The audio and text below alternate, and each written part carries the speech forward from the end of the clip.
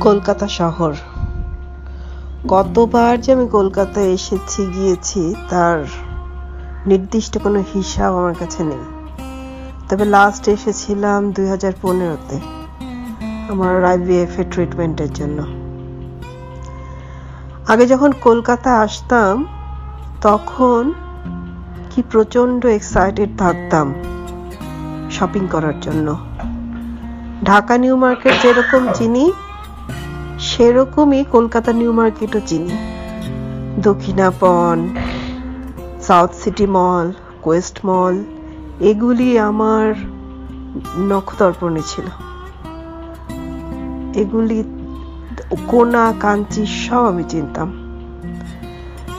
কিন্তু এবার কেন জানি কোনো রকম শপিং করতেই ইচ্ছা করল না। কেন জানি আমি বুড়া হয়ে যাচ্ছি। বুড়া তো হচ্ছি।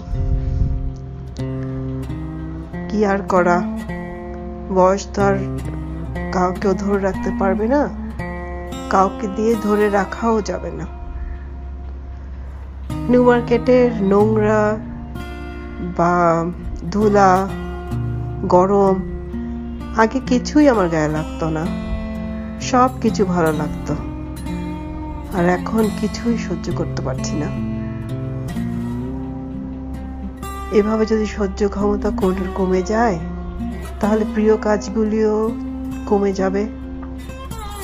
যদিও এখন প্রিয় কাজের প্রেফারেন্স বা প্রিয় কাজের কাজগুলিও চেঞ্জ হয়ে গেছে। আগে যেগুলি ভালো লাগতো, এখন আর সেগুলি ভালো লাগে না। এটাই জীবন। এভাবেই জীবন চলবে। এটাই জীবন। এভাবেই একদিন শেষ হয়ে যাবে জীবন।